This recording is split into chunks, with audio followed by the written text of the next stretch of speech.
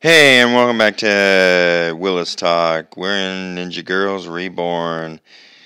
Taking a look at the girls.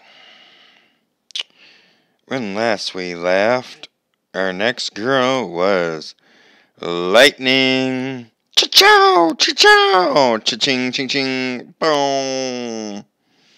Oh, wrong show. Sorry. Uh, well, as you most likely can tell, uh, it would be magic that would rule her life. And the gear definitely reflects that.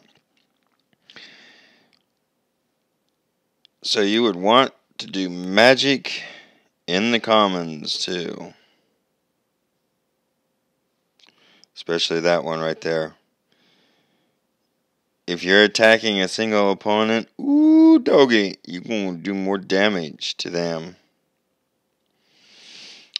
Her skins are just that one, that one, and Pikachu. Personally, I like that one. Books, just one. Increases her spell, increases her health, increases her intelligence, and increases her spell. Of course, y'all got this. I ain't fed her up. She is romanced up, though. Completely. And then her storyline. Like I said, storylines come in a different time. Her hex, you would want intelligence and spell power to be the domination here. And then there's her cards, the two that I have. Still no Pikachu. Her stats, as you can see, she's high in attack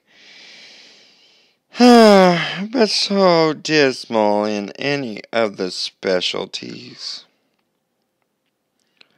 Her skills are pretty decent. She can take you quite a distance. Though for the long run, she will not hold in there against many, many of the other girls. She will fall flat on her face. She can try. And with the right setup, you can run her even in some of the big leagues. Of course, you always want to break her out. And as you can see, I already have 66 scrolls. It wasn't that long ago when I purged my banks. Emblems, well, as you can see, anything for magic points, skill levels, and HP regen. Little redundant at her age. Well, that's all for Ninja Girls Reborn Lightning. Sorry, there isn't much more to say about her. She's kind of like lava, low end of the totem pole. Wish they would do something about that. Until next time, this is Willis signing off. Keep your girls leveled.